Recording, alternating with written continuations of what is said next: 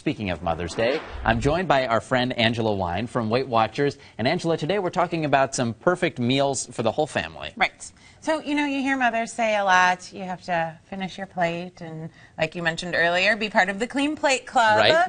Um, and so I've brought in a couple of recipes, but also they are from our 50th anniversary cookbook, and there's more, of course, in here that the family will like, and so it'll be easier for, you know, the Clean Plate Club to happen. However, that being said, the rise in obesity among adults and children, really, it's about portion control eating the right foods and staying active and that's really an important lesson to be teaching our children so that we are not overeating.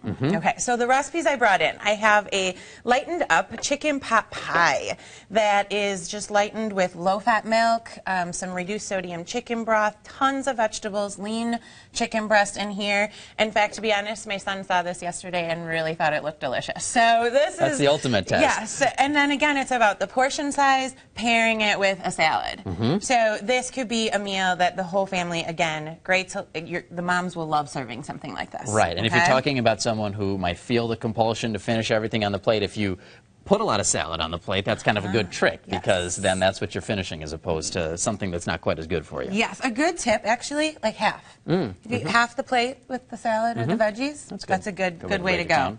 And of course, then there's dessert. So the favorite on a cookie tray for a lot of us are lemon bars, which are typically made with like a rich shortbread crust and a lemon curd filling. Mm-hmm. Our spin on it, we used I used some animal crackers in the crust, and I we kind of um, were creative with the filling. I squeezed out fresh lemon juice, and so these are some really light three points plus values per little lemon bar here.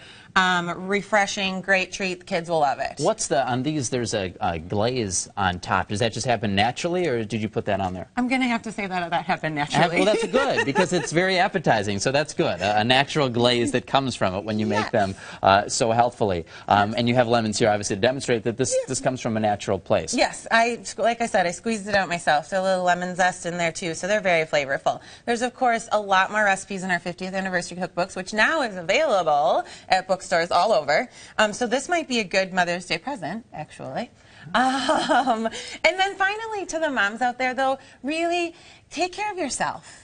Take some me time and do things that are good for you. Because if you take care of yourself, you're really just going to be that much more able to take care of your children and your family. And so if you want to spend some time on yourself, come stop out Weight Watchers, check out a meeting for free. It, you know, perfect time getting ready for summer to hopefully come soon to lose some weight.